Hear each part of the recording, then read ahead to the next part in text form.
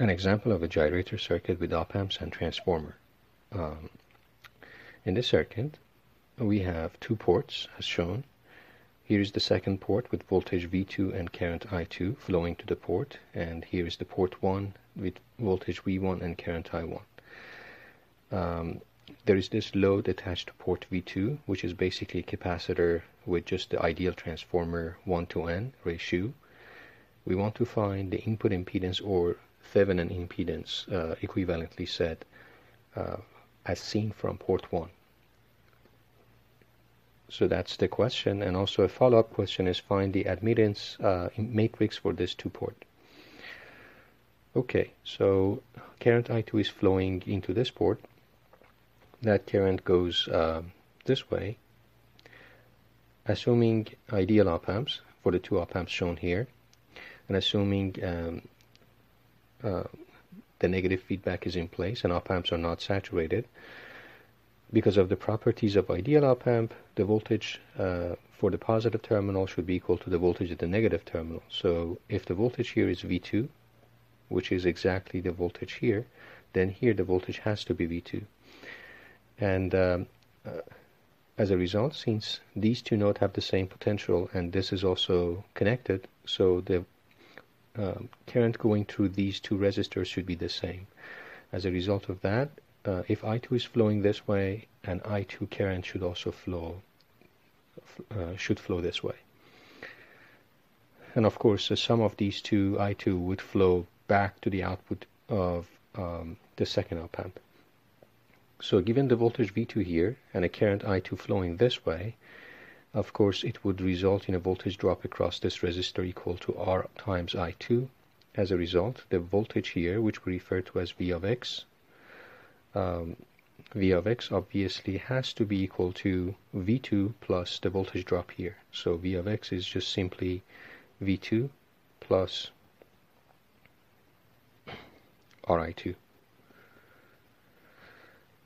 Okay, um, now since we're assuming that this op amp is not saturated as well and this ideal op amp is in full operation with negative feedback, then the voltage on positive and negative terminals should be the same. So if here is Vx, here should be Vx as well.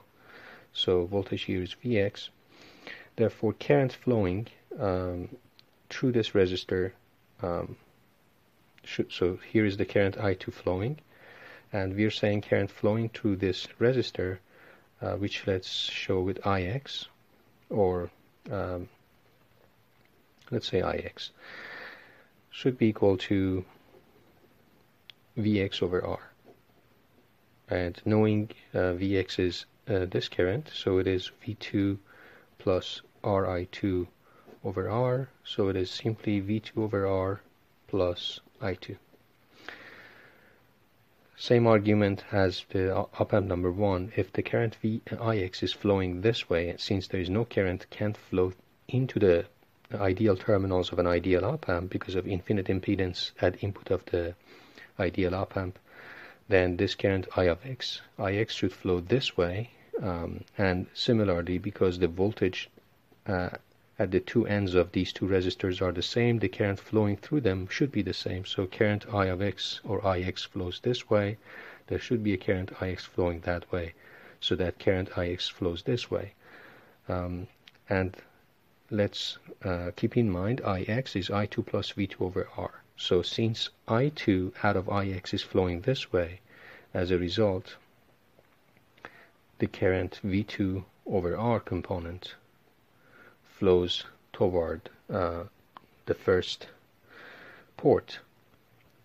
Um, therefore, from these outcomes, we can see that I1 is simply minus V2 over R. Okay. Now, at the same time, what we have is uh, V1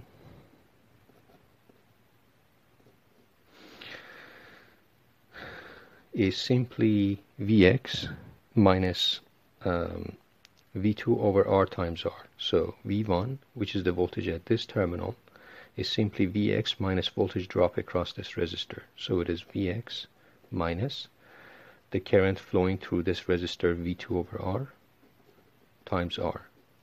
So it is simply Vx minus V2.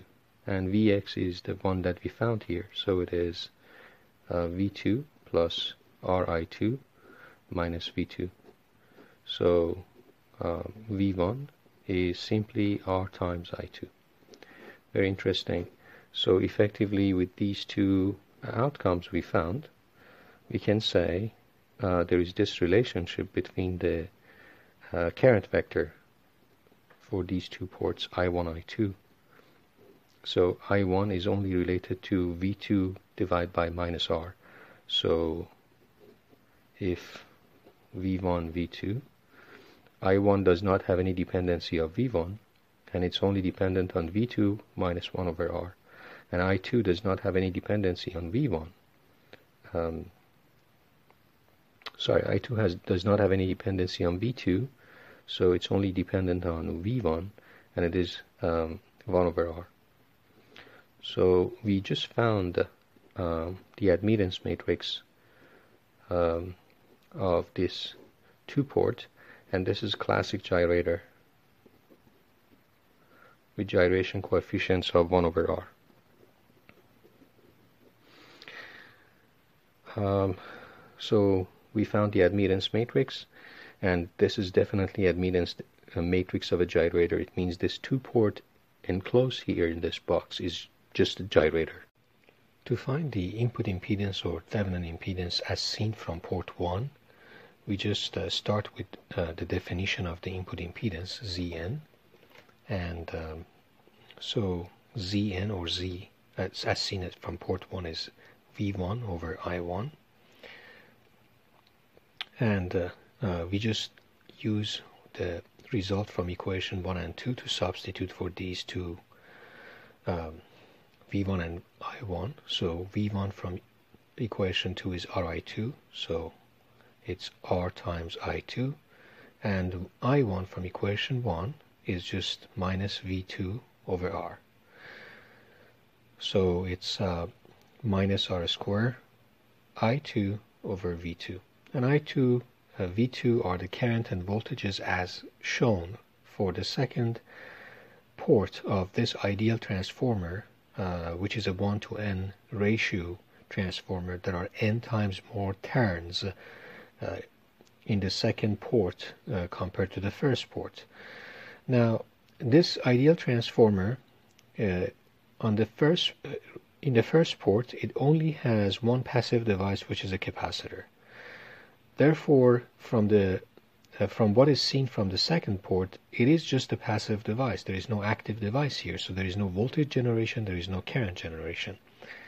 Because of that, uh, there is no way we can have this sort of a V2 voltage drop when the current I2 is shown like this unless the relationship between current and voltage uh, corresponding to IC and VC is negative, meaning that if we have this V2 and I2, uh, the only conclusion is it has to be minus R2 minus uh, IC divided by N as defined by the relationship between the currents of the two ports of an ideal transformer with turn ratio 1 to n and uh, the voltage V2 is n times Vc. So um, I would like to draw your attention to this negative sign here which this negative sign and this one they just cancel out each other and we have R2 divided by n squared R squared divided by n squared IC over Vc. And IC over Vc is just the admittance of this capacitor, which in S-domain representation is just simply uh, CS.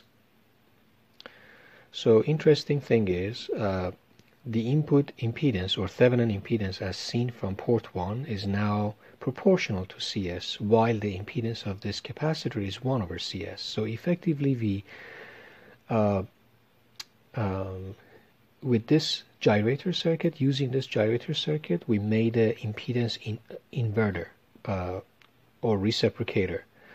Um, so that's an interesting property, meaning that using a capacitor, we actually ended up uh, feeling or sensing an inductive effect looking from port 1 as, as shown here. So you can think of this as an inductive value with the inductance of L equal to R square C divided by N square.